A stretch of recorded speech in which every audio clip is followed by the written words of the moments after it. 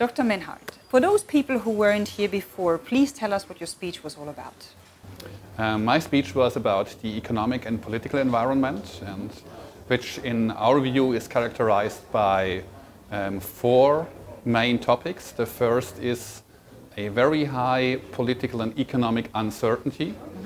Coming from various risks in our environment. Yeah. The second is, unfortunately, we live in a period of under average economic growth mm -hmm. on the global economy. The third is um, we see central banks uh, in a new role and a very critical role, and we believe that the very expansionary monetary policy will continue. Um, but we also have, at the very end, good news. We believe that innovation will be a major driver of economic growth, mm -hmm. and digitalization will change the shape of the world economy.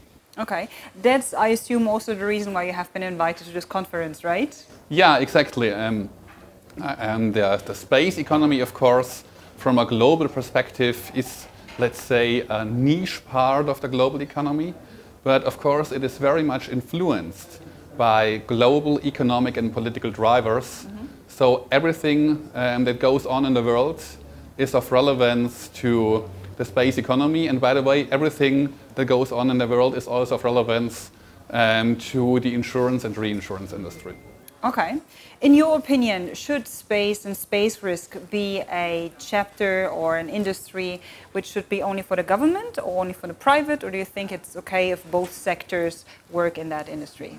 Um, I believe that, first of all, the space sector is a very important sector for the future of the global economy.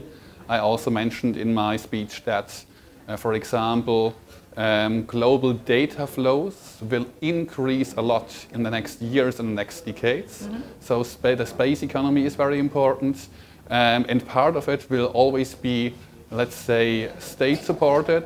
But um, I also think it's very important that we have a strong private part in the space economy. Okay. What is that one key takeaway that you want to share with people? What is the one mistake that people continuously do that you want to share with the world today? I think the most important thing is in times of high uncertainty, um, it is not possible to forecast the next big thing, to really know which of the risks will materialize. So the key message is that risk management and diversification are as important as they have always been.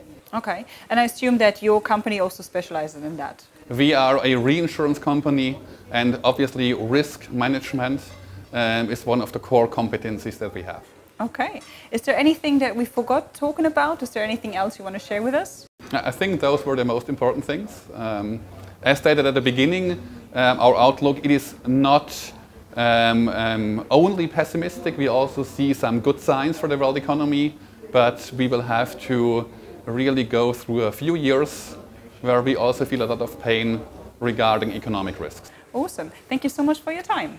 Thank you for being here. Thanks. Thanks.